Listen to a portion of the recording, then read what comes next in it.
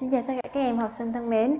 Trong ờ, video lần trước thì cô và các em đã cùng ôn tập phần lý thuyết cũng như là làm các bài tập trong sách giáo khoa của chương 1 phép nhân và phép chia các đa thức. Thì hôm nay trong bài hôm nay thì cô và các em sẽ cùng giải các bài tập trong sách giáo khoa của phần ôn tập chương này nhé. Rồi, vậy ờ, bài đầu tiên mà cô và các em sẽ cùng làm đó là bài 53 trang 13 sách bài tập.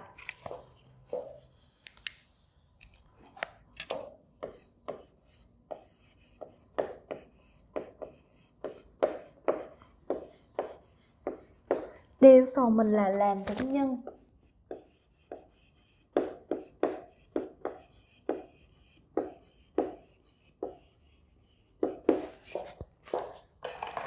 Câu A. 3x nhân với x bình phương trừ 7x cộng 9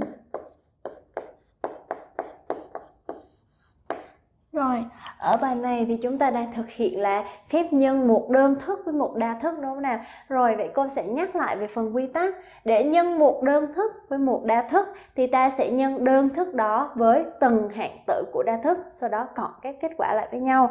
Vậy ở bài này thì cô sẽ thực hiện lấy đơn thức là 3x nhân với từng hạng tử của đa thức này, được không nào? Rồi, bước đầu tiên cô sẽ lấy 3x nhân với hạng tử đầu tiên là x bình phương cộng với đơn thức là 3x nhân hạng tử thứ hai, lưu ý hạng tử thứ hai của các em có dấu trừ nhé, là trừ 7x rồi, cộng với đơn thức là 3x nhân với hạng tử thứ ba là là 9 rồi, tới đây mình sẽ thực hiện là nhân hai đơn thức với nhau thì mình sẽ nhân các hệ số với nhau và nhân các phần biến với nhau. Ở đây 3x nhân x bình phương thì cô sẽ được là là 3. x nhân hai lũy thừa cùng cơ số thì cô sẽ giữ nguyên cơ số và cộng hai số mũ, tức là cô sẽ giữ nguyên cơ số là x. x tức là x mũ 1 cộng hai số mũ được thì cô được x mũ mũ 3. Cộng nhân trừ thì cô được là trừ hệ số 3 nhân 7 là 21 x nhân x là x bình phương. Cộng 3x nhân 9 thì em sẽ lấy là 3 nhân 9 là 27 27x đúng nào, đó là kết quả của câu A. Tiếp theo chúng ta sẽ qua câu B. 2 phần 5 xy nhân với x bình phương y trừ 5x cộng 10y Rồi, câu B tương tự mình cũng sẽ thực hiện nhân đơn thức với đa thức. Lấy tầng hạng tử của lấy đơn thức nhân với tầng hạng tử của đa thức. Cô nhân với hạng tử đầu tiên là x bình phương y. Rồi cộng với 2 phần 5 xy nhân hạng tử thứ hai là trừ 5x. Rồi cộng với đơn thức là 2 phần 5 xy nhân hạng tử thứ ba là là 10y. Rồi, cô sẽ thực hiện nhân. Hệ số ở đây là mình có 2 phần 2 phần 5. Rồi, biến thì các em sẽ nhân theo từng biến đúng không nào? X nhân với x bình phương thì giữ nguyên cơ số là x cộng hai số mũ thì mình được là x mũ 3 tương tự với y mũ 1 cộng mũ 1 là ra mũ 2 y mũ 2 cộng nhân trừ được trừ 2 phần 5 nhân với 5 thì các em sẽ rút gọn 5 với 5 ở tử và mẫu đúng không nào vậy ta chỉ còn lại là là 2 x nhân x là x bình phương, y viết lại. Cộng 2 phần 5 nhân 10 các em sẽ rút gọn 10 với 5 vậy ở trên này được 2 đúng không nào? 2 nhân 2 là là 4 x, y nhân y, mình được là y bình phương. Vậy đó là kết quả của câu B. Rồi, đó là bài à, 53 sau khi xong bài 53 thì chúng ta sẽ chuyển sang bài 54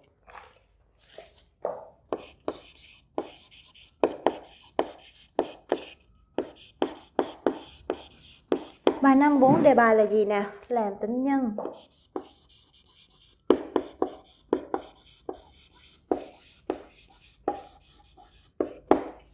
Rồi, câu A. x bình phương trừ 1 tất cả nhân với x bình phương cộng 2x Vậy ở bài 54 này thì chúng ta sẽ thực hiện là nhân một đa thức với một đa thức. Thì về quy tắc ta sẽ nhân từng hạng tử của đa thức này với từng hạng tử của đa thức kia, sau đó cộng các kết quả lại với nhau. Vậy cô sẽ thực hiện lấy hạng tử thứ nhất của đa thức bên này, tức là x bình phương, nhân với hạng tử thứ nhất bên đa thức bên này cũng là x bình phương. Rồi cộng hạng tử thứ nhất bên đa thức thứ nhất nhân với hạng tử thứ hai bên đa thức thứ hai được không nào? Nhân lần lượt, lấy hạng tử thứ hai của đa thức thứ nhất, tức là trừ 1 nhân với hạng tử bên này là x bình phương. Tiếp tục lấy trừ 1 nhân với hạng tử thứ hai là 2x được không nào? Rồi, lại trở về nhân đơn thức với đa, đơn thức. X bình phương nhân x bình phương thì cô sẽ giữ nguyên x và cộng hai số mũ, tức là x mũ mũ 2 cộng mũ 2 là ra mũ 4 đúng không nào? Rồi, cộng bình phương nhân với 2x thì cô sẽ giữ nguyên cơ số là à, hệ số là 2 x bình phương nhân x thì cô được là x mũ mũ 3 trừ nhân với cộng thì cô được trừ. 1 nhân với x bình phương cô được x bình phương. Cộng trừ nhân với cộng thì mình sẽ được là là trừ. 1 nhân 2x là 2x và tới đây thì các em sẽ thấy là những đơn thức này không đồng dạng với nhau cho nên chúng ta sẽ không rút gọn nữa. Được không nào? Đó là câu A. Câu tiếp theo câu B.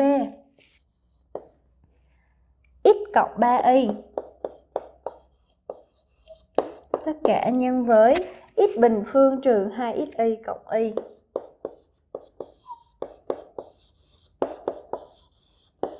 Rồi, rồi, tiếp tục mình sẽ thực hiện là nhân đa thức với đa thức. Và sau khi các em đã làm quen rồi, thì mình có thể bỏ bước thứ hai này đi, được không nào? Và chuyển sang bước là nhân nhân nhẩm luôn. Vậy cô sẽ thực hiện nhân nhẩm nhé, để chúng ta quen. Lấy hạng tử thứ nhất nhân với hạng tử thứ nhất. X nhân x bình phương, thì mình được là x mũ mũ 3 đúng không nào? X nhân với trừ 2xy cộng nhân trừ thì mình được là trừ. Hệ số là là 2 x nhân x cô được là x bình phương, y cô viết lại. Rồi, cộng nhân với cộng được cộng x nhân với y thì mình được là là xy đúng không nào? Tiếp theo, lấy hạng tử thứ hai của đa thức thứ nhất nhân với từng hạng tử của đa thức thứ hai. 3y nhân với x bình phương thì cô được là 3x bình phương y. Rồi 3y nhân với trừ 2xy thì phải là dấu trừ đúng không nào? 3 nhân 2 là là 6. x nhân với y bình phương. Rồi, 3y nhân với y thì cô được là 3 y bình phương. Sau đó các em kiểm tra là có đơn thức nào đồng dạng để mình rút gọn hay không. Thì ở đây ta thấy là có trừ 2x bình phương y, bên này có 3x bình phương y thì mình có thể rút gọn được, đúng không nào? Vậy cô sẽ thực hiện rút gọn bằng bằng x mũ 3 trừ 2x bình phương y cộng 3x bình phương y thì mình còn cộng một lần x bình phương y. Rồi, những cái còn lại thì cô sẽ viết lại. Cộng với xy trừ 6 xy bình phương. Rồi cộng với 3 y bình phương. Đúng không nào? Đó là kết quả của câu B. Rồi, câu tiếp theo là câu C. 2x trừ 1 nhân với 3x cộng 2 nhân với 3 trừ x rồi, vậy để nhân 3 đa thức với nhau thì cô sẽ thực hiện nhân hai đa thức với nhau trước, sau đó là nhân với đa thức thứ ba. Rồi, nhân hai đa thức đầu tiên, 2x nhân 3x thì cô sẽ được là 6x bình phương. 2x nhân với 2 được 4, 4x trừ 1 nhân với 3x. Lưu ý đây là trừ 1 nhé. Trừ 1 nhân 3x được trừ 3x trừ 1 nhân 2 được, trừ 2 và đây mới chính là kết quả của hai đa thức đầu tiên nhân với nhau. Mình còn phải nhân với đa thức thứ ba nữa, chính là 3 trừ x. Rồi, vậy các em sẽ làm gọn cái đa thức trong mặt trước được không nào? 6x bình phương, cô viết lại.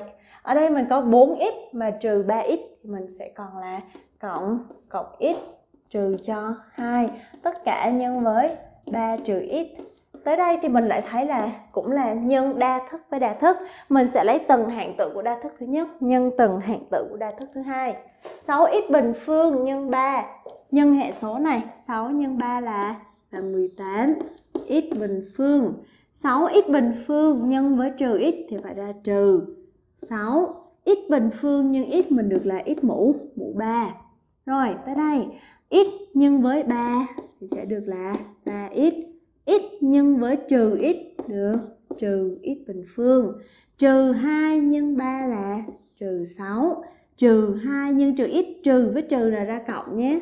2 2x rồi, tới đây thì mình sẽ rút gọn những đơn thức đồng dạng. Vậy ở đây cô có là 6x mũ 3 trừ 6x mũ 3 cô sẽ ghi lại, đây là mũ 3 rồi, tiếp theo là mũ, mũ 2, 18x bình phương trừ 1x bình phương thì sẽ còn lại là là 17x bình phương.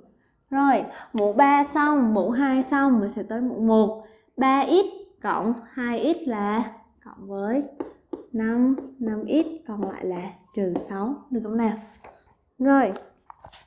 Đó là bài ờ, uh, 54. Bài tiếp theo thì uh, Đề bài là tính nhanh giá trị của một biểu thức sau, bài 55.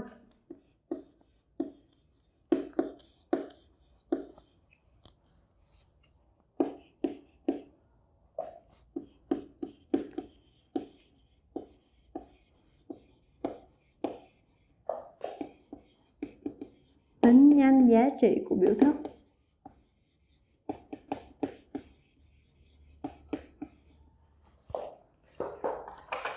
Câu A 1,6 bình phương cộng 4 nhân 0,8 nhân 3,4 cộng 3,4 bình phương. Rồi, đó là câu A. Câu A thì chúng ta sẽ quan sát thấy là mình sẽ làm cách nào nào? Em thấy là mình có thể đưa được về dạng hàng đẳng thức đúng không? Hàng đẳng thức A bình phương cộng 2 lần AB cộng B bình phương. Và chúng ta phải biến đổi lên thế nào để mình thấy xuất hiện rõ hơn được không nào? Vậy ở đây A thì các em sẽ dự đoán nó sẽ là bằng 1,6 đúng không? Vậy A bình phương chỗ này cô sẽ tách ra là cộng 2 lần AB 2 nhân A là là 1,6 rồi các em kiểm tra này 2 nhân 1,6 Chỗ này 4 có tách ra là bằng 2 nhân với 2 được không nào? 2 nhân 2 nhân 0,8 Thì 2 cô giữ lại Còn lại một cái 2 cô nhân với 0,8 thì được 1,6 Vậy nó đã thỏa là 4 nhân 0,8 rồi đúng không nào? Còn lại là nhân 3,4 Rồi cộng 3,4 Tất cả bình phương. Vậy tới đây thì các em thấy rõ ràng 1,6 sẽ là A và 3,4 sẽ là B. Và đây chính là hàng đẳng thức số số 1 A bình phương cộng 2AB cộng B bình phương sẽ bằng A cộng B tất cả bình phương đúng không nào? A của cô là là 1,6 cộng với B là cộng 3,4 rồi tất cả bình phương lên. 1,6 cộng 3,4 thì các em sẽ được là là 5 đúng không nào? 5 bình phương. Và kết quả sẽ được là là 25 rồi đó là câu A câu B. 3 mũ 4 nhân với 5 mũ 4 trừ cho 15 bình phương cộng 1 nhân với 15 bình phương trừ trừ 1.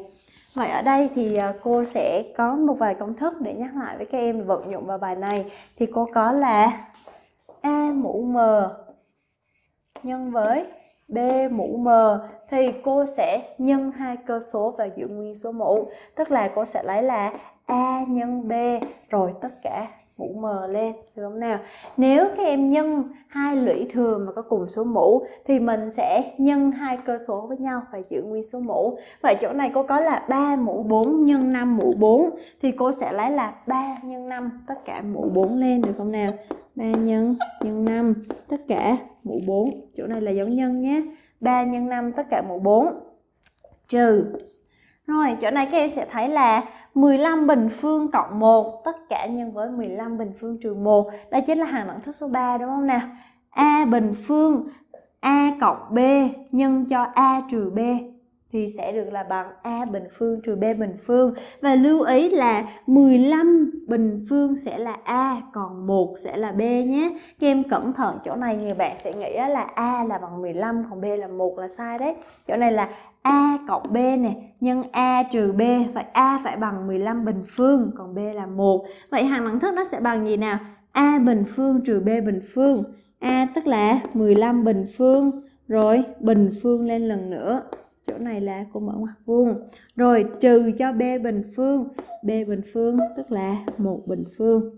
Được nào rồi, vậy chỗ này 3 nhân 5 là bằng bằng 15 rồi, mũ 4 lên, dấu là trừ. Chỗ này cô lại có công thức nữa, là a mũ m, lũy thừa của lũy thừa thì mình sẽ giữ a và nhân hai cái số mũ lại với nhau, được không nào?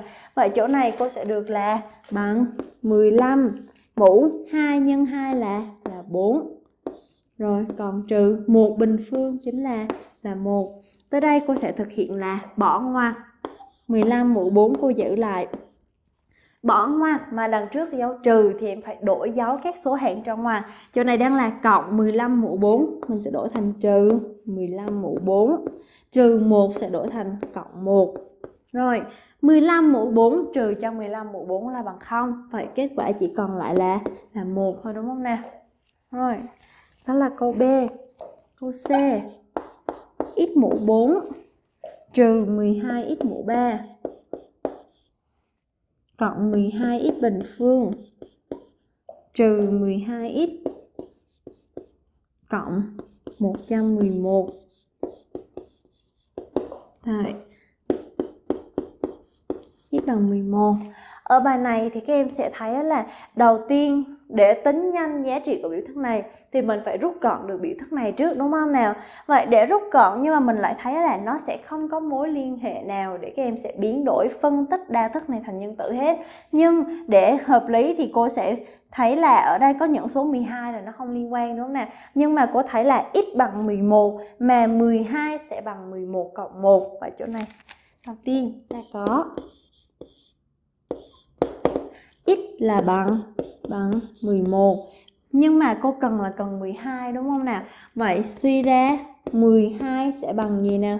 12 chính sẽ bằng 11 cộng với 1 mà 11 là bằng bằng x vậy cô sẽ thay chỗ này là bằng x cộng với 1 được không nào? Mục đích thay để các em sẽ nhân vào, nó sẽ triệt tiêu lẫn nhau được. Vậy chỗ này, suy ra, ta có là x mũ mũ 4 trừ 12 x mũ 3 cộng với 12x bình phương trừ 12x cộng với 111 sẽ bằng. Bây giờ chỗ nào có 12 thì cô sẽ thay bằng x cộng 1 được không nào? Hoặc x mũ 4 cô vẫn sẽ giữ lại, dấu trừ. 12 thì bây giờ cô thay bằng x cộng 1 rồi, nhân với lại là là x mũ 3 bên này cũng vậy 12 cô thay bằng x cộng cộng 1 rồi nhân với x bình phương, trừ. 12 tiếp tục cô thay bằng x cộng 1 tất cả nhân với x rồi cộng cho 111 mục đích là để mình nhân vào thì nó sẽ triệt tiêu. X mũ 4 cô sẽ viết lại. Rồi, chỗ này thì các em sẽ thực hiện là nhân đơn thức. Đơn thức là đây, với đa thức. Ta sẽ nhân đơn thức với tầng hạng tử của đa thức. Tức là lấy x mũ 3 nhân với x lấy x mũ 3 nhân với 1 nhưng ở đây là có dấu trừ nhé, cho nên cô sẽ hiểu chỗ này là cô đưa x mũ 3 ra, vậy sẽ ra là trừ x mũ 3 nhân với x cộng 1 thì cô sẽ được này, trừ nhân với cộng ta sẽ được là trừ. X nhân với x mũ 3 là là x mũ 4 rồi, trừ x mũ 3 nhân với 1 sẽ được là trừ x mũ 3 không nào cẩn thận ờ, cái đa thức, nhân, phép nhân đa thức với đơn thức này nhé. Tiếp theo, ở đây thì đơn giản rồi. Nhân đơn đơn thức với đa thức, mình sẽ lấy x bình phương nhân x là được x mũ 3 lấy x bình phương nhân 1 là được x bình phương. Rồi, bên này thì tương tự như vậy thì cô sẽ đổi x ra phía trước. Vậy mình sẽ ra là trừ x nhân với x cộng 1 đúng không nào? trừ x nhân x sẽ được là trừ x bình phương. Trừ x nhân 1 là trừ x còn lại là cộng 110 11 rồi chỗ này ta thấy là x mũ 4 trừ x mũ 4 là bằng 0 đúng không nào? Trừ x mũ 3 cộng x mũ 3 đối dấu nhau, vậy là sẽ bằng 0 x bình phương trừ x bình phương cũng bằng 0 vậy kết quả mình chỉ còn lại sau khi đã rút gọn đó là trừ x cộng 111 và người ta yêu cầu mình là tính giá trị của biểu thức này tại x bằng 11 thì bây giờ mình sẽ thay lại. Đúng nào thay x bằng 11 vào biểu thức thì ta được.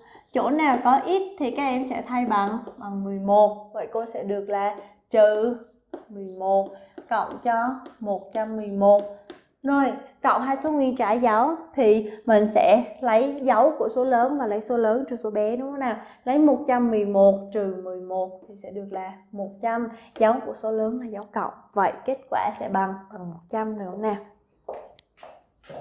luận lại nhé Vậy giá trị của biểu thức tại x bằng 11 là 100 đúng không nào? Rồi, đó là bài 55. À, bài tiếp theo là bài bài 56.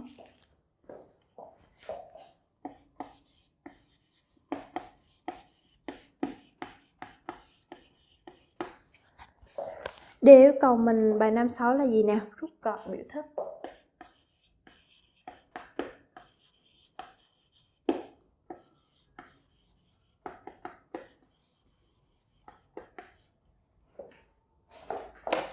Câu A 6x cộng 1 tất cả bình phương cộng cho 6x trừ 1 cả bình phương trừ 2 lần 1 cộng với 6x nhân với 6x trừ 1. Rồi, vậy để rút gọn được biểu thức này thì ta phải nhìn nhận được đây chính là một hàng đẳng thức đúng không nào? Hàng đẳng thức A bình phương trừ 2 lần AB cộng B bình phương. Vậy ta phải biến đổi làm sao đó để mình thấy rõ hơn. Vậy ở đây cô sẽ giữ nguyên là 6x cộng 1 tất cả bình phương cô sẽ đưa cái cụm này ra giữa là trừ 2 nhân với 1 cộng 6x cũng sẽ bằng là 6x cộng 1 đúng không nào? Vậy cô sẽ đổi lại là bằng 6x cộng 1 để mình thấy nó xuất hiện ra giống A đúng không nào? A bình phương này trừ 2 lần A còn lại là 6x trừ 1. Rồi, ở đây là cộng cho 6x trừ 1 tất cả bình phương. Ngoài tới đây thì các em đã rõ ràng thấy đây là A bình phương trừ 2 lần A, B cộng B bình phương đúng không nào? Vậy A chính là 6x cộng 1 và B là 6x trừ 1. Vậy ở đây sẽ được là hàng đẳng thức là A trừ B tất cả bình phương. Cô sẽ thay vào A là 6x cộng 1 này trừ cho B là 6x trừ 1 rồi tất cả bình phương lên đúng không nào? Bước tiếp theo, cô sẽ thực hiện bỏ ngoặc. Bỏ ngoặc bằng trước dấu cộng thì dấu không đổi là 6x cộng cộng 1. Bỏ ngoặc đằng trước ngoặc là dấu trừ thì ta phải đổi dấu các hạng tử. Và chỗ này là cộng 6x thì mình sẽ đổi thành trừ 6x. Trừ 1 mình sẽ đổi thành cộng 1. Rồi bình phương cục này lên. Vậy ở đây ta có 6x trừ 6x là bằng 0 đúng không nào? 1 cộng 1 là bằng bằng 2 vậy cô sẽ được là hai bình phương. Mà hai bình phương thì sẽ bằng bằng 4 vậy sau khi rút gọn thì mình sẽ được biểu thức uh, ở câu A này là bằng 4 được không nào? Rồi câu B.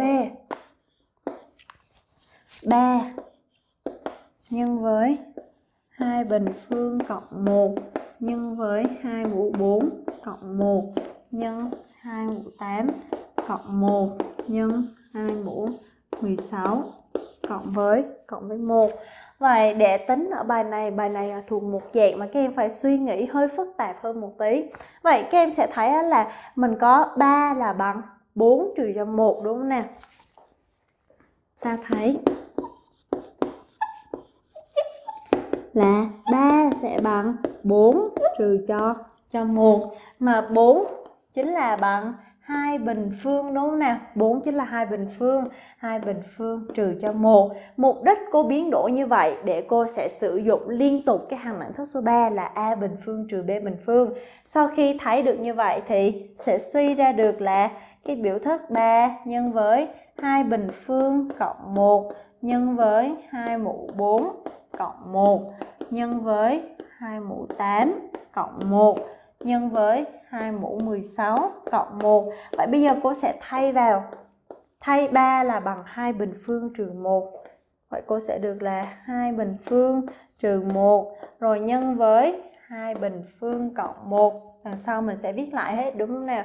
Nhân với 2 mũ 4 cộng cộng 1 nhân với 2 mũ 8 cộng 1 nhân với 2 mũ 16 cộng 1 những cái đằng sau không đụng tới thì cô sẽ viết lại hết vậy tới đây thì các em sẽ thấy là mình sẽ sử dụng hàng đẳng thức số 3 A bình phương A trừ B nhân cho A cộng B thì sẽ bằng A bình phương trừ B bình phương. Và lưu ý A ở đây sẽ là hai bình phương nhé, còn B sẽ là một. Vậy chỗ này cô sẽ được là A bình phương trừ B bình phương.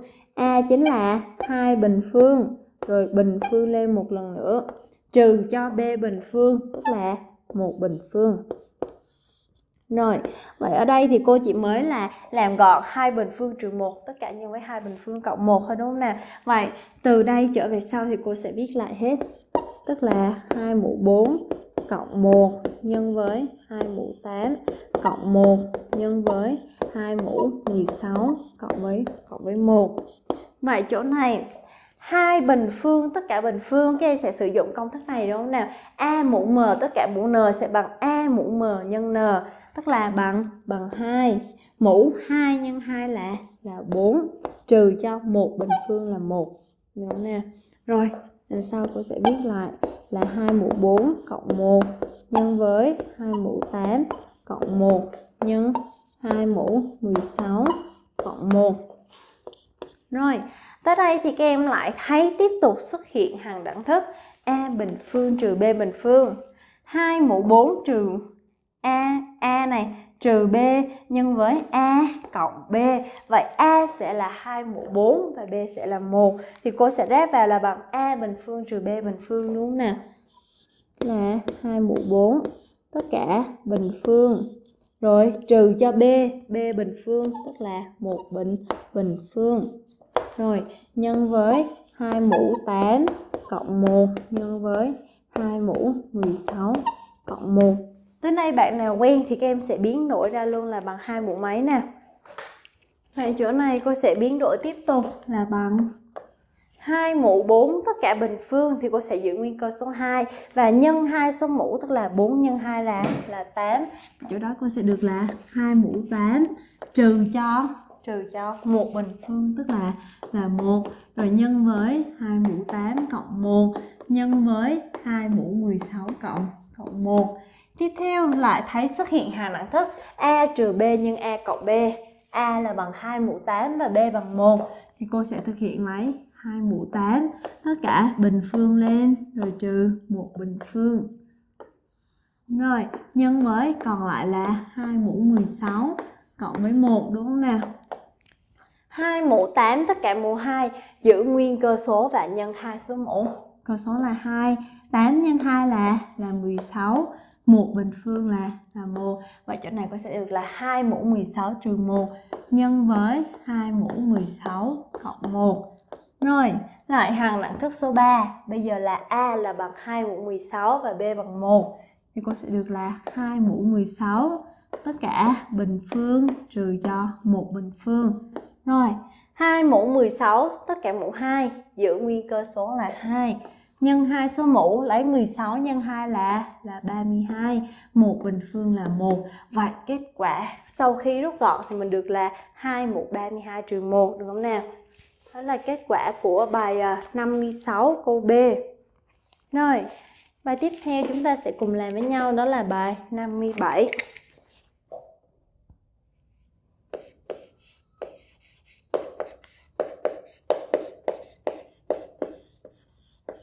Đều yêu cầu mình là phân tích các đa thức sau thành nhân tử.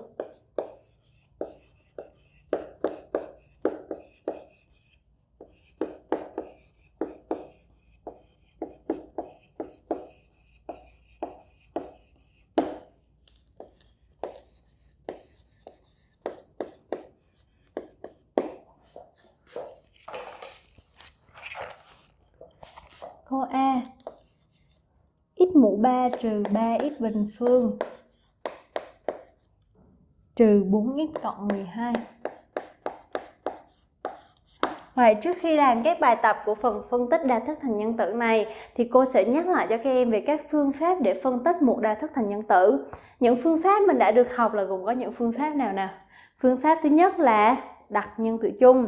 Phương pháp thứ hai là mình sẽ sử dụng hàng đẳng thức. Phương pháp thứ ba là mình sẽ nhóm hạng tử và phương pháp cuối cùng đó là mình phối hợp ba phương pháp trên lại với nhau. Vậy các em sẽ xem với cô xem ở câu A này mình sẽ vận dụng phương pháp nào nhé. Đầu tiên phương pháp đặt nhân tử chung, các em kiểm tra xem nhờ cô các hạng tử này có nhân tử chung là gì không nhé. Ở đây có về phần hệ số là cô thấy không thấy xuất hiện rồi đúng không nào? Rồi về phần biến, ở đây có x đây cũng có ít, đây cũng có ít, nhân hạng tử thứ tư không có ít. Vậy phương pháp đầu tiên mình đặt nhân tử chung trước là chưa đúng nô nè. Về hàng đẳng thức thì mình cũng sẽ thấy là chưa thấy xuất hiện hàng đẳng thức. Vậy phương pháp thứ ba là chúng ta sẽ nhóm hạng tử để xuất hiện nhân tử chung.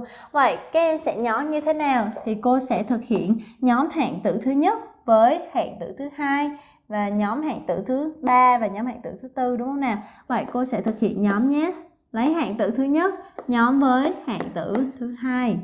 Rồi hạng tử thứ ba và hạng tử thứ tư các em lưu ý là ở đây có dấu trừ. Nếu có đặt dấu trừ rồi thì các hạng tử trong mặt phải đổi dấu nhé.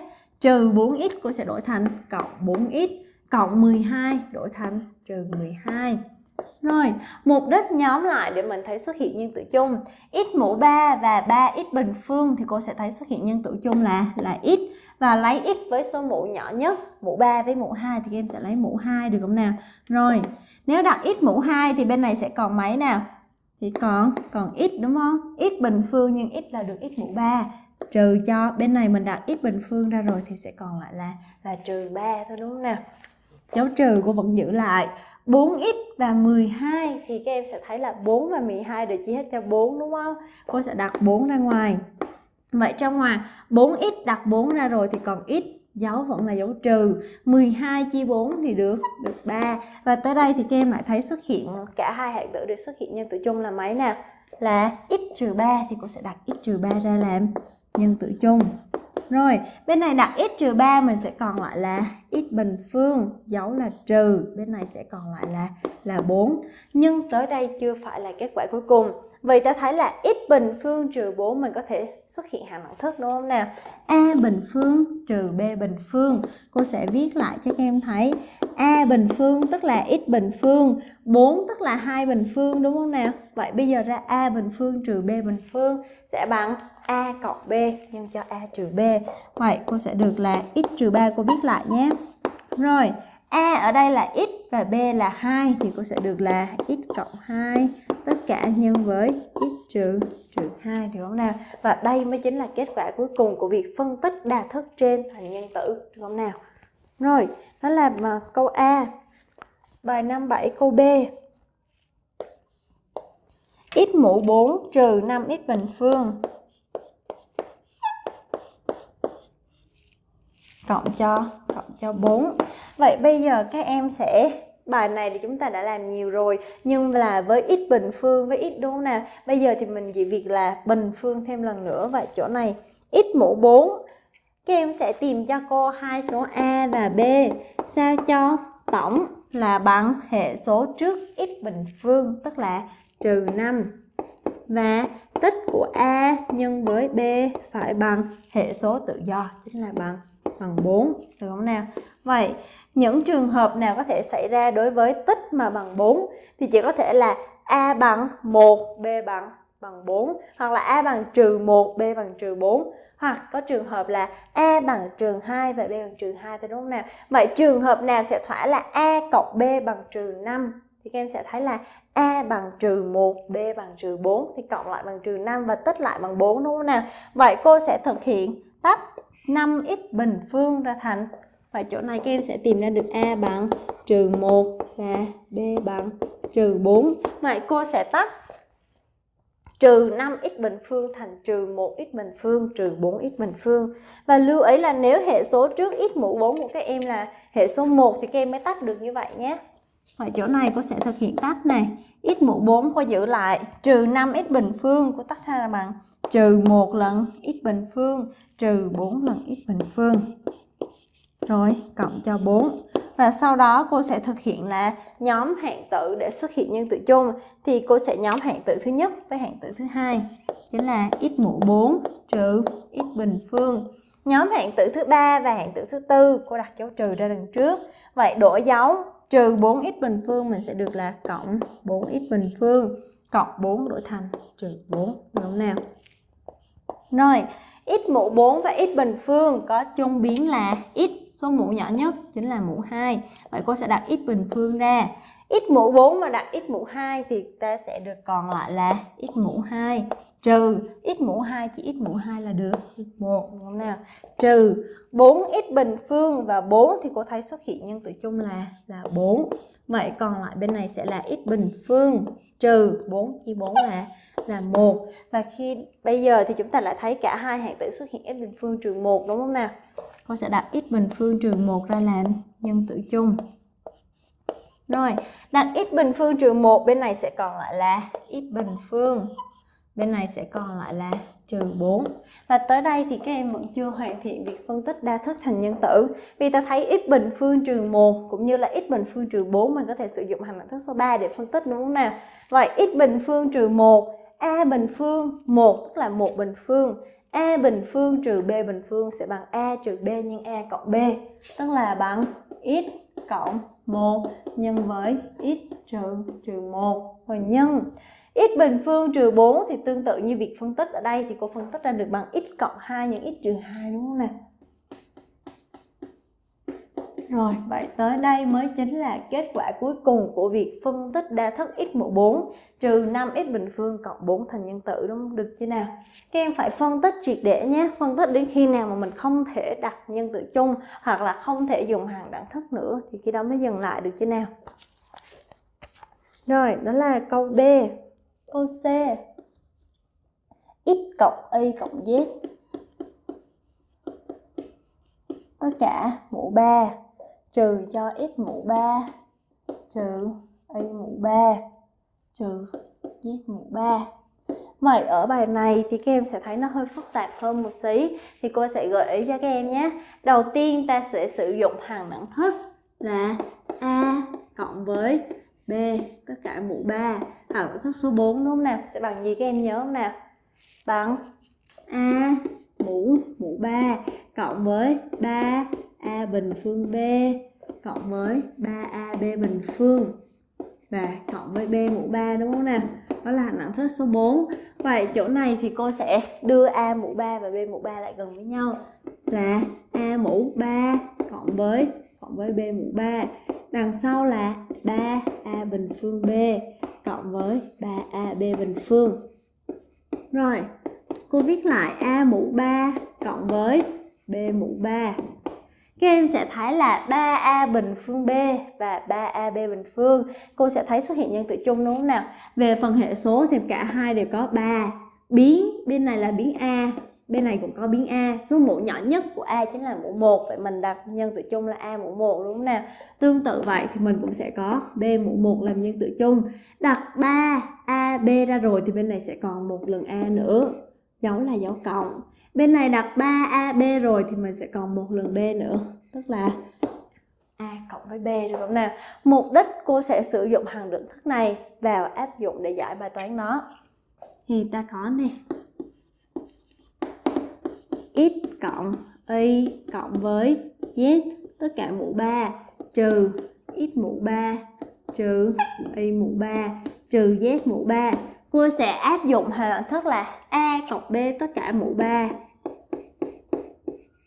sẽ bằng A mũ 3 cộng B mũ 3 cộng 3 lần AB tất cả nhân với A cộng B.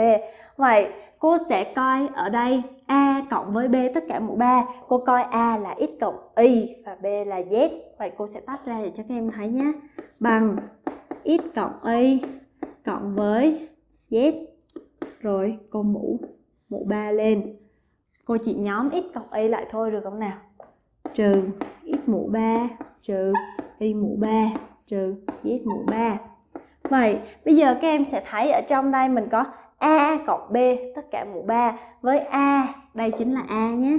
x cộng y đây là a và z sẽ là b. Cô sẽ ráp vào. Vậy mình sẽ được gì nào? a cộng b tất cả mũ 3 bằng a mũ 3. Cô sẽ viết xuống một dòng nữa để các em thấy. a mũ 3 sẽ x cộng y đây chính là a đúng không nào? a mũ 3 cộng b mũ 3, b là z, vậy sẽ được là z mũ 3 cộng 3 nhân với a nhân b, a chính là x cộng y. Nhân b là nhân với z, như thế nào? Rồi, nhân mình mới nhân 3ab thôi nhé. Còn lại là a cộng b nữa. a chính là x cộng với y mà cộng b nữa là cộng với cộng với z. Vậy cô mới chỉ thực hiện là khai triển x cộng y cộng z tất cả mũ 3 thôi.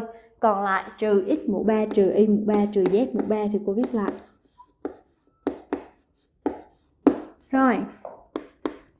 Chỗ này thì các em lại thấy x cộng y tất cả mũ 3 cô sẽ sử dụng hành ẩn thức này tiếp theo với a là x và b là là y. Vậy bây giờ a của cô sẽ là là x và b là là y. Hay vào với cô nhé. A mũ 3 tức là x mũ 3 cộng với B mũ 3 là Y mũ 3 cộng 3 lần AB A là x, B là là Y. Tất cả nhân với A cộng B, tức là x cộng với cộng với Y được không nào? Cô mới khai triển x cộng Y tất cả mũ 3 rồi, ở đây các em sẽ thấy là Z mũ 3 bên này trừ Z mũ 3 vậy cô sẽ mất Z mũ 3 rồi, được không? Vậy cô sẽ còn lại là cộng 3 lần x cộng với y nhân với z nhân với x cộng y cộng với z. Còn lại là trừ x mũ 3 trừ y mũ 3 rồi, bây giờ các em lại thấy là cô có x mũ 3 trừ x mũ 3 là bằng 0 y mũ 3 trừ y mũ 3 cũng bằng 0 vậy cô sẽ còn lại hai cụm ở giữa đúng không nào là 3 lần xy nhân với x cộng y. Rồi, cộng với 3 lần x cộng với y nhân với z nhân với x cộng y cộng cộng z. Vậy chỉ còn lại hai cụm này. Và tới đây thì mình chưa chưa gọi là phân tích đa thức thành nhân tử. Rồi, bây giờ các em sẽ quan sát với cô cả hai hạng tử này đều xuất hiện nhân tử chung là gì nào? Hệ số đây có 3, bên này cũng có 3, vậy cô sẽ đặt đặt 3 ra làm nhân tử chung. Rồi, bên này là biến x, bên này không có. Đây có y, bên đây không có. Đây có x cộng y và bên này cũng có x cộng y đúng không nào? Vậy cô sẽ đặt nhân tử chung là là x cộng y nữa. Rồi, vậy đó là hết nhân tử chung đúng không nào? Sau khi đặt nhân tử chung rồi thì bên này các em sẽ thấy là còn lại những phần mà cô không gạch chân, có nghĩa là còn xy đúng không nào? y Rồi, bên này dấu là dấu cộng. Những phần cô không gạch chân tức là z nhân với x cộng y cộng với với z. Rồi, chỗ này 3 nhân với x cộng y. Cô giữ lại. Cô sẽ nhân z vào, thực hiện nhân đơn thức với đa thức. xa nhân đơn thức với đa thức cô sẽ lấy đơn thức nhân với từng hạng tử của đa thức sau đó cộng các kết quả lại với nhau. Z nhân với x cô được là x z đúng không nào? Z nhân với y thì cô được là y z z nhân với z sẽ được là z cộng hai số mũ lại một cộng một là mũ hai. Rồi tới đây vẫn chưa ra kết quả cuối cùng. 3 nhân x cộng y cô viết lại nhé. Biểu thức trong ngoặc các em có thể thực hiện nhóm hạng tử để đặt nhân tử chung được một lần nữa. Vậy cô sẽ thực hiện nhóm hạng tử thứ nhất với hạng tử thứ hai. Xy cộng với xz rồi, hạng tử thứ ba với hạng tử thứ tư cộng y z cộng với z bình phương. Nhóm lại với nhau rồi, vậy chỗ này 3 nhân với x cộng y, cô sẽ viết lại được không nào? X, y và x, z thì các em thấy nhân tử chung là là x, cô sẽ đặt x ra ngoài. Bên này sẽ còn lại là y cộng với, bên này là là z. Rồi, dấu là dấu dấu cộng. Y, z và z bình phương thì cô thấy nhân tử chung chính là là z. Bên này sẽ còn lại là y cộng với z bình phương, đặt một z ra rồi thì mình sẽ còn một z đúng không nào? Rồi, tới đây. 3 nhân với x cộng cộng y. Nhân với, bây giờ biểu thức trong mà, lại thấy xuất hiện nhân tử chung chính là y cộng z. Cô sẽ đặt y cộng cộng z làm nhân tử chung. Vậy bên này sẽ còn lại là là x cộng với, bên này còn lại là là z. Vậy đây mới chính là kết quả cuối cùng của việc phân tích đa thức. C, ở câu C, thành nhân tử được không nào? Bài này hơi phức tạp một xí, nhưng các em nắm rõ và làm từ từ từng bước, cẩn thận từng bước thì mình sẽ làm ra được kết quả. Được không? Rồi. Bài tiếp theo. Bài tiếp theo là bài 58.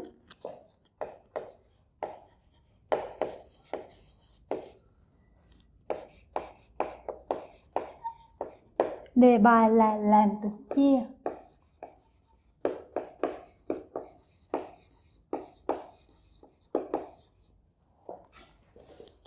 Có A.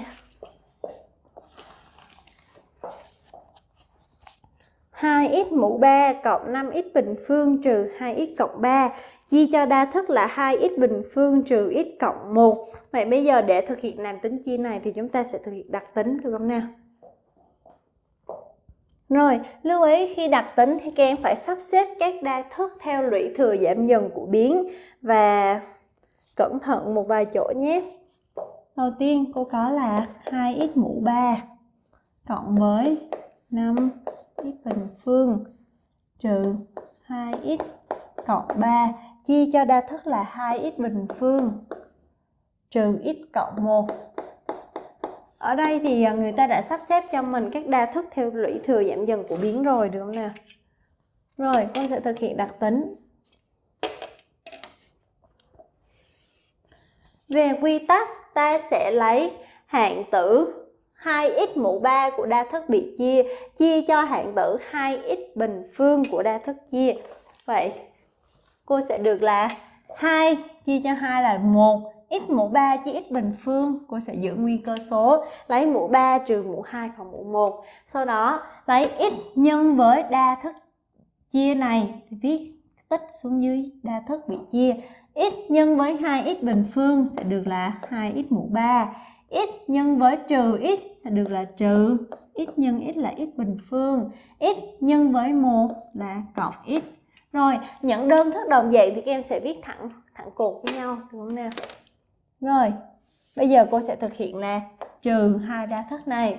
2x mũ 3 trừ 2x mũ 3 là bằng 0. 5x bình phương trừ cho trừ x bình phương. Trừ với trừ thì sẽ ra cộng. 5 cộng 1 là là 6 x bình phương trừ 2x trừ 1x là trừ 3x còn cộng 3 cô sẽ hạ xuống sau đó lấy hạng tử bậc cao nhất của cái dư thứ nhất này chia cho hạng tử bậc cao nhất của đa thức chia. Tức là lấy 6x bình phương chia cho 2x bình phương. 6 chia 2 là là 3. Rồi, x bình phương chia x bình phương bằng 1. Sau đó cô nhân lên lại nhé. 3 nhân 2x bình phương là 6x bình phương. 3 nhân với trừ x là trừ 3x. 3 nhân 1 là là 3. Tiếp tục trừ hai đa thức này và hai đa thức này bằng nhau cho nên trừ nhau sẽ bằng bằng 0. vậy phép chia này là phép chia hết luôn nè vậy ta có là 2x mũ 3 cộng với 5x bình phương trừ cho 2x cộng 3 chia cho đa thức là 2x bình phương trừ x cộng 1 sẽ bằng thương thương chính là x cộng 3 Chứ nè, đó là kết quả của câu A Tương tự câu B thì các em cũng sẽ làm như vậy. Câu B.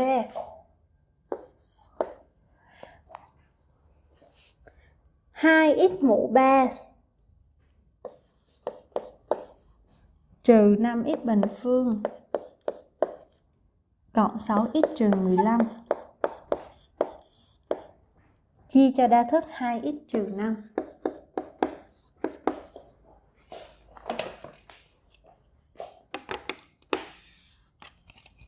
Chúng ta sẽ lấy hạng tử bậc cao nhất của đa thức bị chia, chia cho hạng tử bậc cao nhất của đa thức chia. 2x mũ 3 chia 2x, 2 chia 2 bằng 1, x mũ 3 chia x sẽ được là x bình phương. Cô nhân lên lại. x bình phương nhân 2x là 2x mũ mũ 3.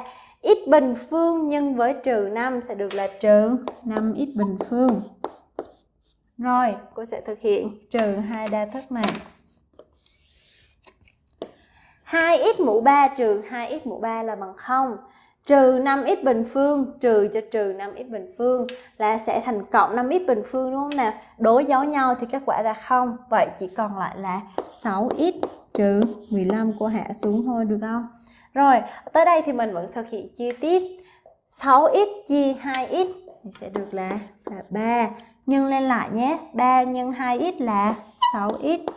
3 nhân với trừ 5 là trừ 15 và hai đa thức này cũng bằng nhau, cho nên khi trừ với nhau thì các bạn sẽ bằng bằng không. Bài này đơn giản, đúng không nào?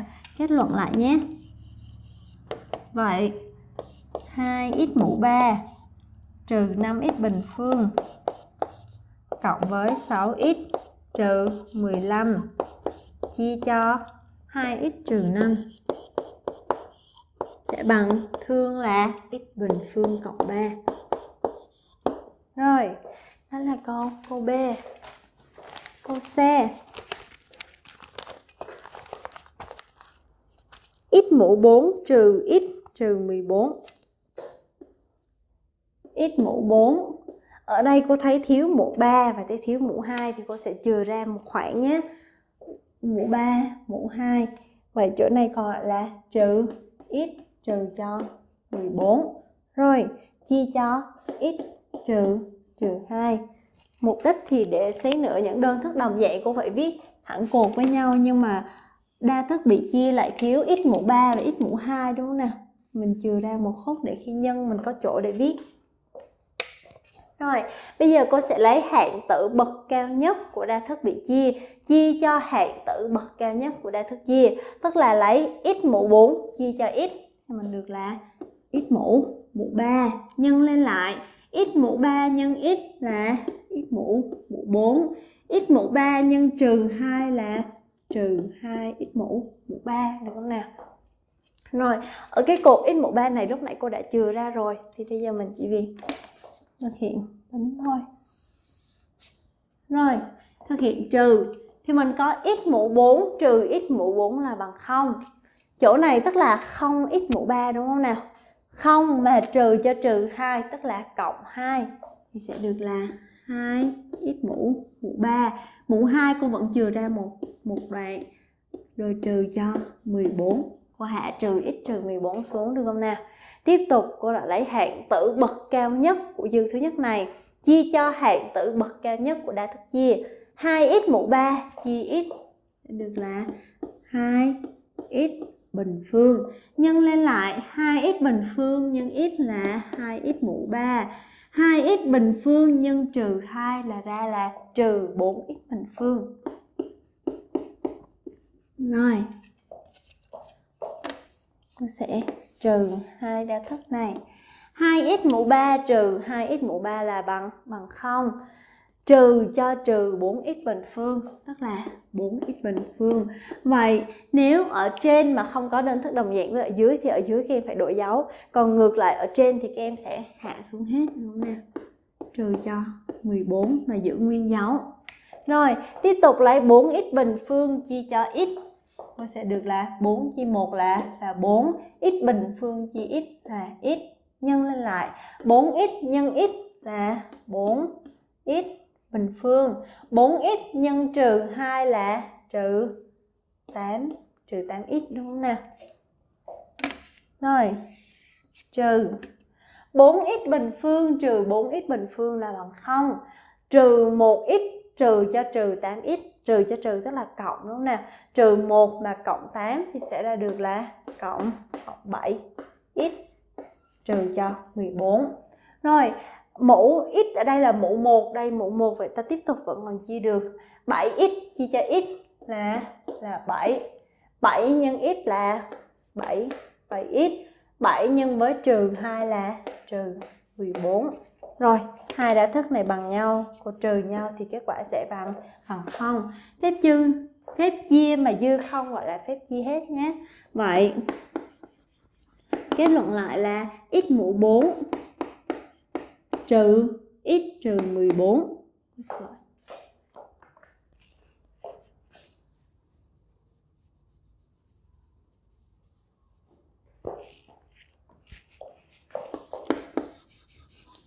Vậy x mũ 4 trừ x trừ 14 chia cho x trừ 2 sẽ bằng, thương chính là đa thức này đúng không nào? x mũ 3 cộng 2x bình phương cộng 4x cộng cho 7 rồi, đó là bài 58 làm tính chia. Bài 59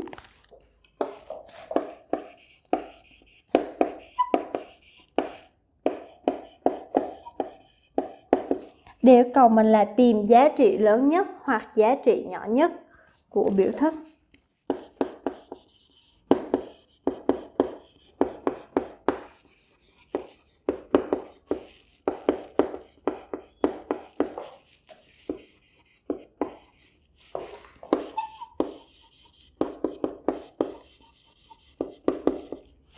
Câu A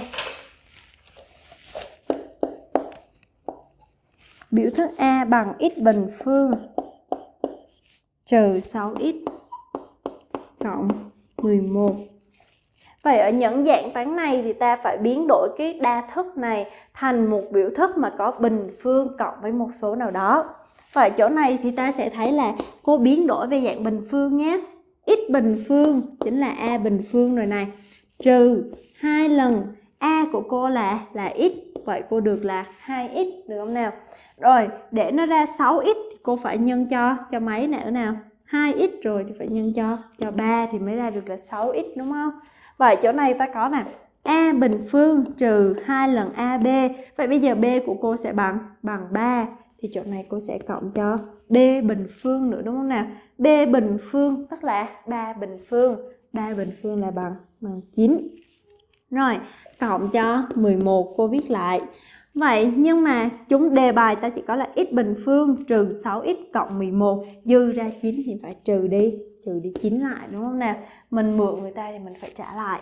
Vậy chỗ này x bình phương trừ 2x nhân 3 cộng với cộng với 9, đây chính là hằng đẳng thức thứ thứ hai là a trừ b tất cả bình phương với a là là x trừ b là trừ cho 3 tất cả bình phương cộng cho 11 trừ 9 thì các em sẽ trừ ra là bằng bằng 2.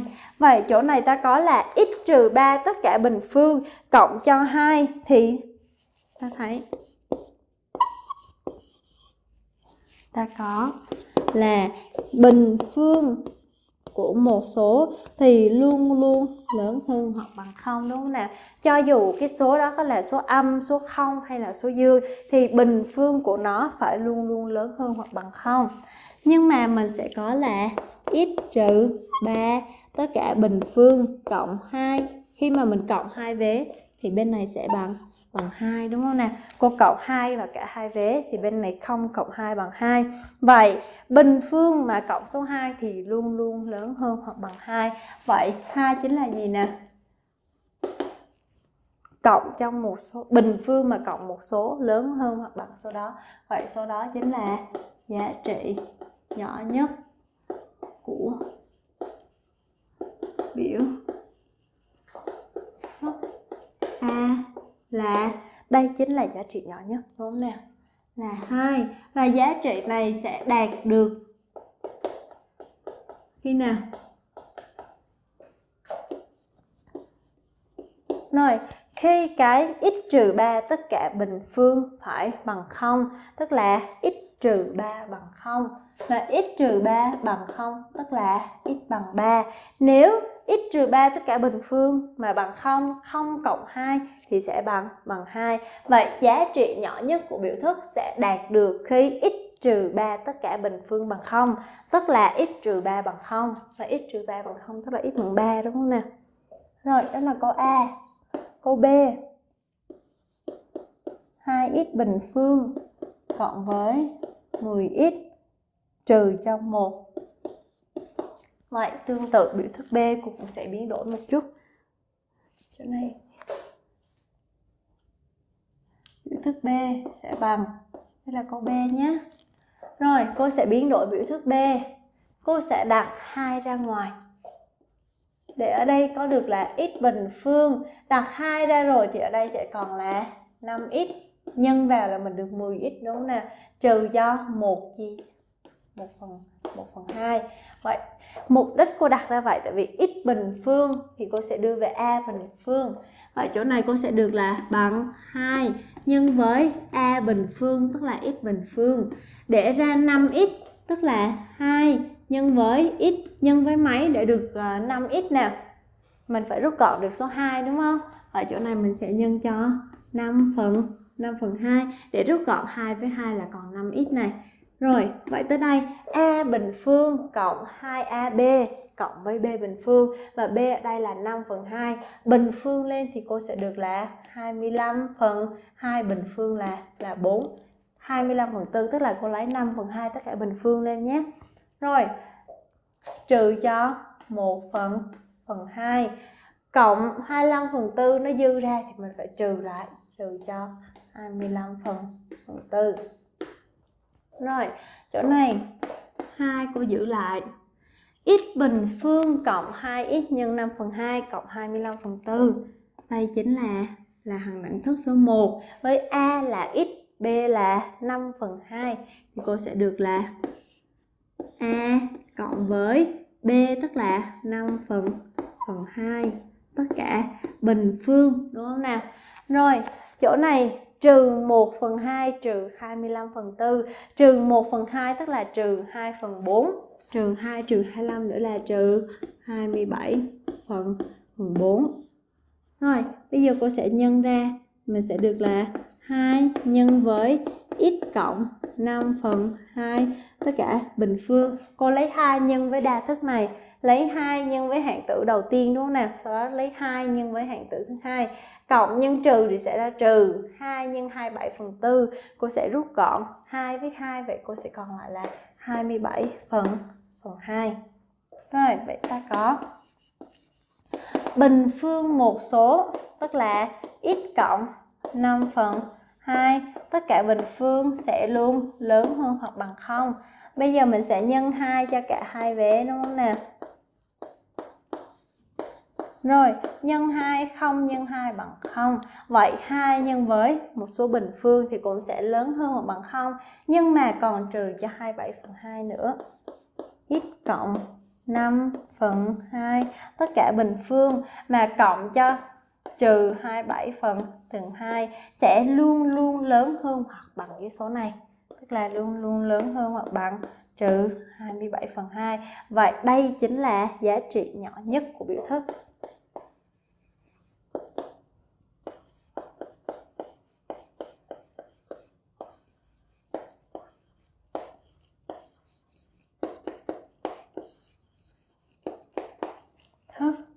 Là trừ 27 phần 2 và sẽ đạt được khi nào nè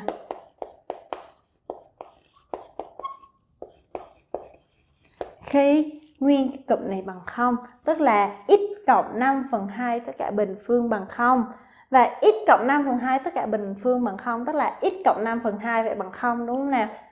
x cộng 5 phần 2 bằng 0 thì x sẽ bằng trừ 5 phần phần 2 nè một số bình phương mà bình phương đã lớn hơn hoặc bằng không rồi, mà còn cộng cho nguyên cái số này nữa thì chắc chắn phải lớn hơn hoặc bằng số đó.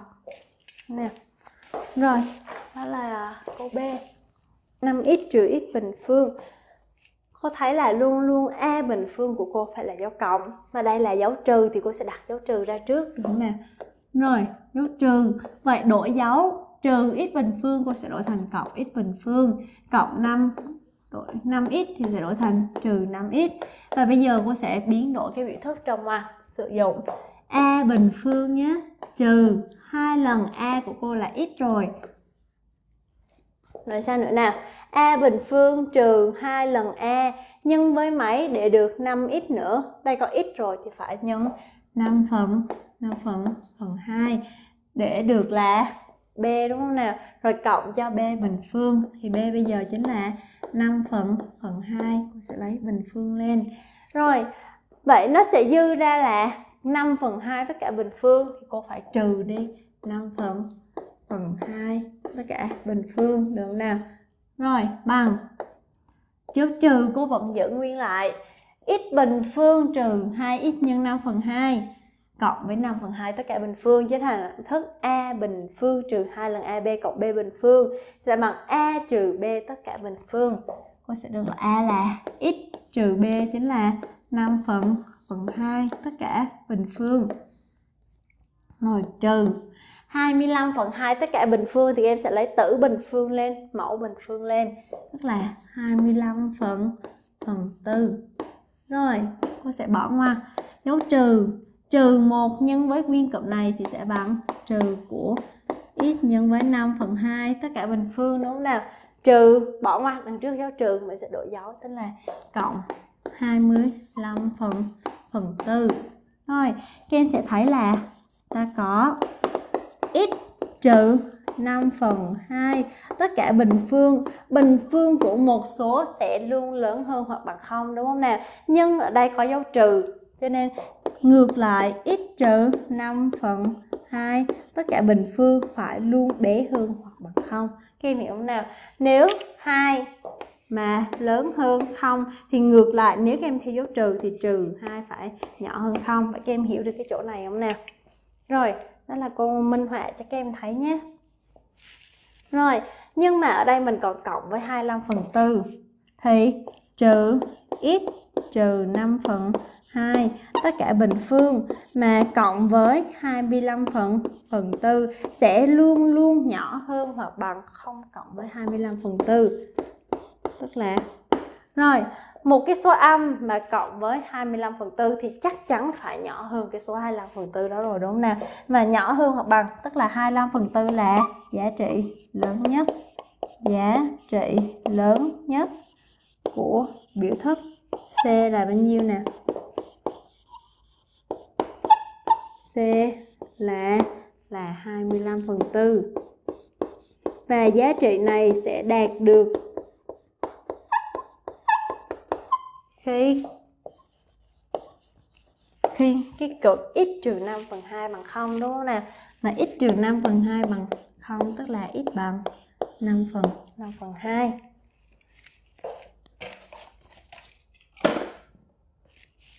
Rồi, vậy cô sẽ sửa cho các em ờ, hai câu của phần ờ, bài tập bổ sung nữa nhé. Còn lại những câu còn lại thì các em có thể làm thêm ở phần bài tập về nhà.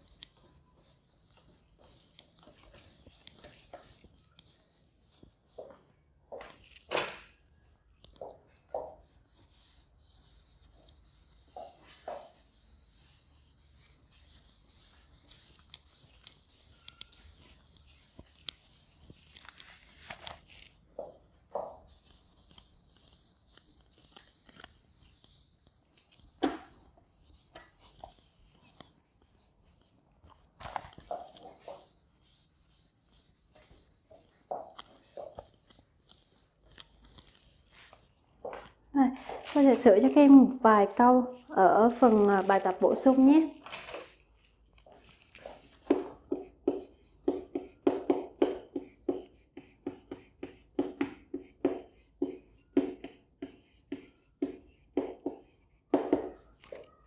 Bài đầu tiên là bài à, 1.1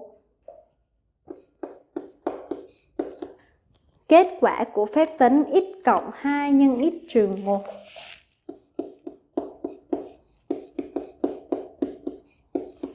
là bao nhiêu? Vậy ở đây chúng ta sẽ thực hiện là nhân đa thức với đa thức đúng không nào? Cô sẽ lấy tầng hạng tử của đa thức này nhân với tầng hạng tử của đa thức kia. Sau đó cộng các tích lại với nhau.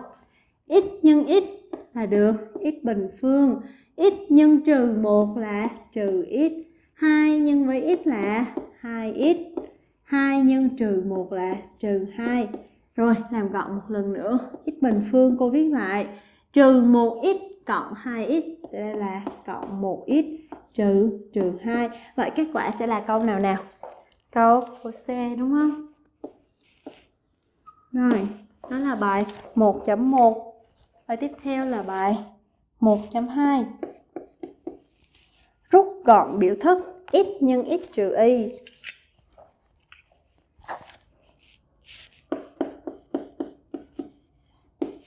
trừ y nhân y trừ x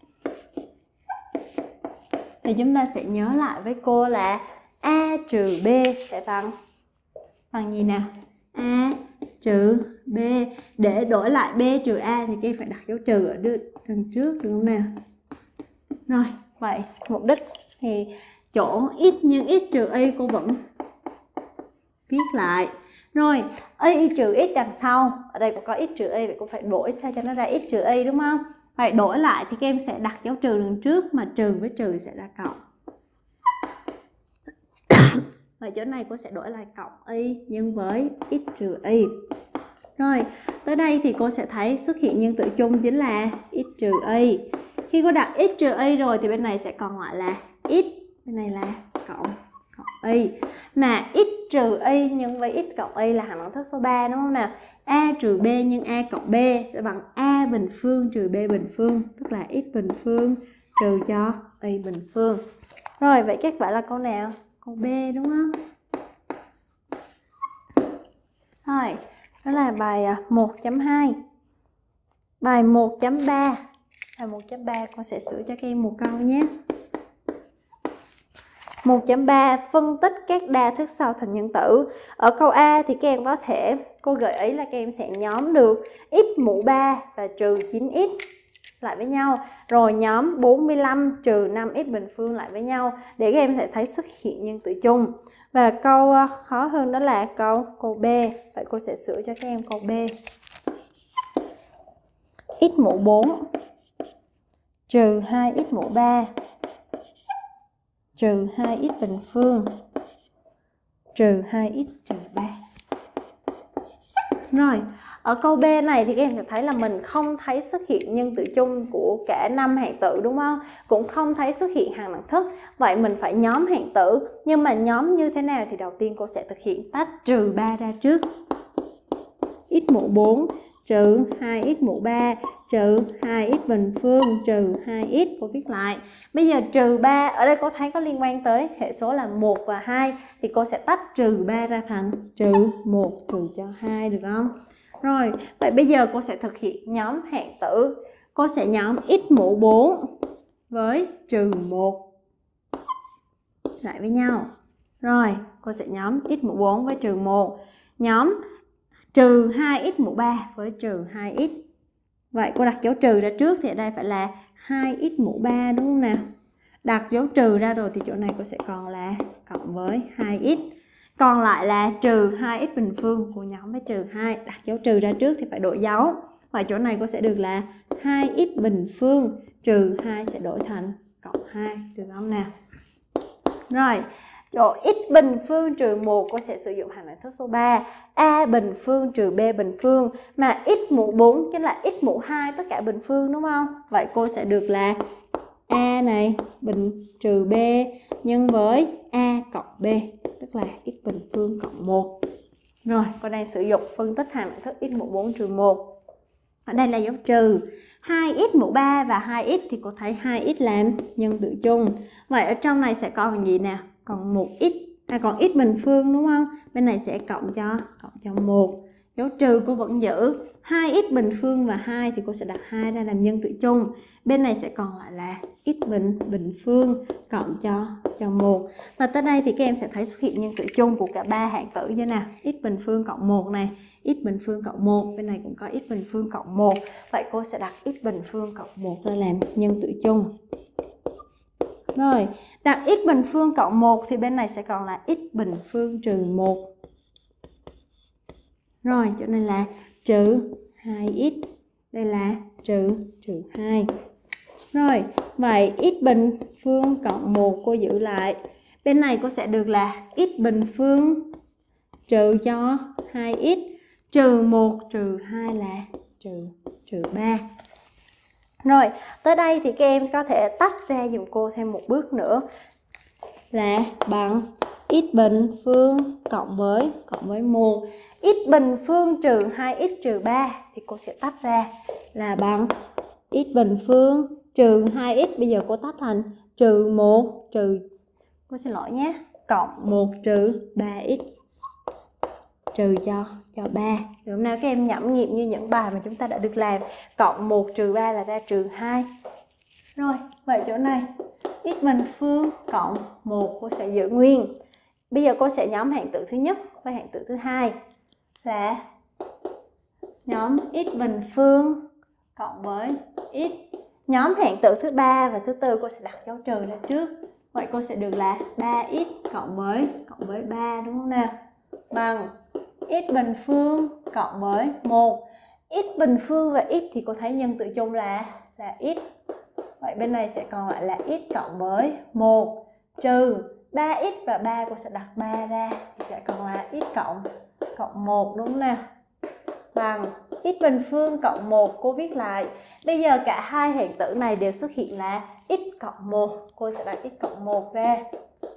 Vậy còn lại là x trừ trừ 3 được không nào rồi, vậy đây chính là việc phân tích đa thức này thành nhân tử. Câu B là một câu hơi phức tạp hơn cho nên cô đã sửa cho các em rồi. Rồi, bài 1.4 làm tính chia thì ờ, cũng tương tự như là bài ờ, 58 mà chúng ta đã làm rồi đúng không nào? Cũng đặt phép tính ra và tính toán cẩn thận nhé. Câu A, câu B đều như vậy. Câu ờ, 1.5 tính giá trị lớn nhất hoặc nhỏ nhất của các biểu thức sau. Bài này là bài tương tự như bài 59 mà lúc nãy cô đã sửa cho các em rồi đúng nè rồi, vậy à, hôm nay thì cô đã sửa cho các em các bài tập trong sách bài tập phần ôn tập chương 1 rồi. Thì nếu các em còn có thắc mắc gì nữa thì hãy cứ comment ở dưới để cô giải đáp cho các em nhé. Bài học của chúng ta hôm nay đến đây là kết thúc. Nếu các em thấy video này hay và hữu ích thì hãy like và đăng ký kênh của cô để nhận thêm được nhiều video hay hơn nữa nhé. Kênh của cô là cô giáo An học online miễn phí. Các em hãy đăng ký kênh để nhận thêm được nhiều video nhé. Chào tạm biệt tất cả các em.